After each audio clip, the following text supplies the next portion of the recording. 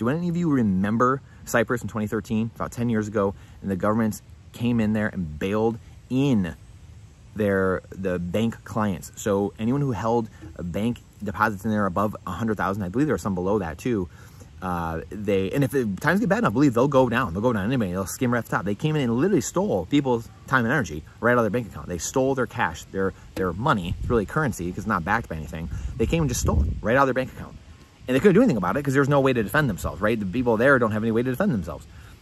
That's coming. The FDIC insurance warned us about this in late November. Warned us that this would happen here in America, that this will happen and can happen, but no one needs to know unless it's a, a, a need to know basis. This is the world we're living in, guys. This is the world we're living in. So my question is, why? Why do we why do we do this? Why do we trade our our finite time for infinite liabilities? Why do we trade the time we only get so much of away from our family and friends, our passions, our hobbies, for infinite pieces of paper, for infinite digits in a computer? That's mind blowing. Why? Now we have a perfect trade. We have Bitcoin. It's the only other finite asset I know of besides time. Please, someone else, let me know of another finite asset you know of. As I don't know of any. I, I don't know of any. So please let me know. Please comment if you know another finite asset. Truly finite, I mean completely finite, perfectly finite. There's only so much time on earth you have, and there's only so much Bitcoin. That's it. Not like, oh, it's kind of finite or like, oh, there's it's pretty scarce or rare. No, I mean finite. Bitcoin and time. Time is Bitcoin. That's what they say money is time, time is money. Now we have it. It didn't really make sense before because we didn't have we didn't actually have true money. We never had actually true true money. Now we have something that's perfectly compatible and, and is exactly finite as time. These fundamentals are so important to continue going over over and over and over again, right? The greatest coaches in the world, sports coaches, always working on the fundamentals.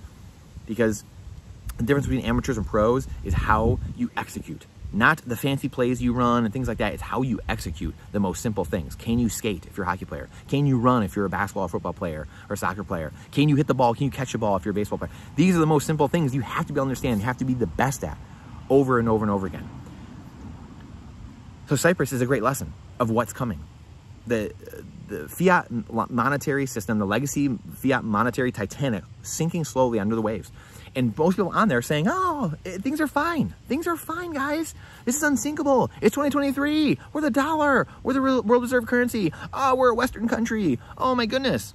And as the people that are exiting and going off on the on the small, right, nascent still Bitcoin network in the Bitcoin life raft, moving away from the fiat legacy monetary Titanic, saying, oh my goodness, guys, this thing is going down. It's, it's, it's going under the waves, guys, and they're yelling back at you. Oh, you guys are morons. It's so volatile in that sea. I hope you guys make it in that little Bitcoin network over there. And you're looking at this huge behemoth going down, going down slowly beneath the waves. So this is the world we find ourselves in. What are you going to choose? Are you going to continue? You know, fool me once, shame on you. Fool me twice, shame on me. Are you going to continue letting this happen?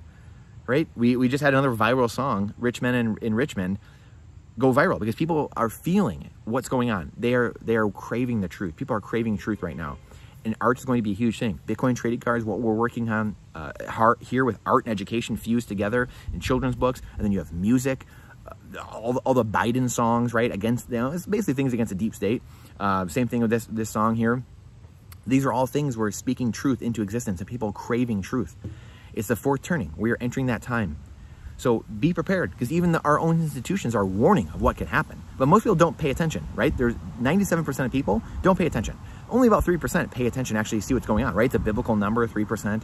And, and 3% is really what got the Revolutionary War going. And, and, we're in that fight and the effort until things started kind of looking good. Then people started joining the cause. But all you need is 3%. You don't need everybody. You need 3%. It's always a minority of people that change things.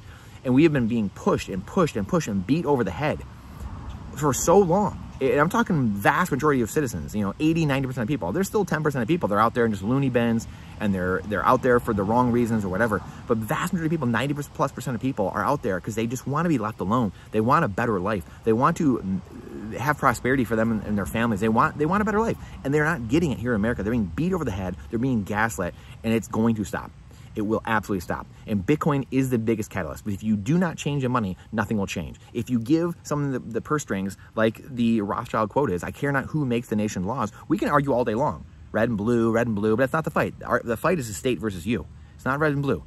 It's the state versus you. And now it's green versus orange. It's the money, right? The Rothschild quote is, I care not who makes the nation's laws.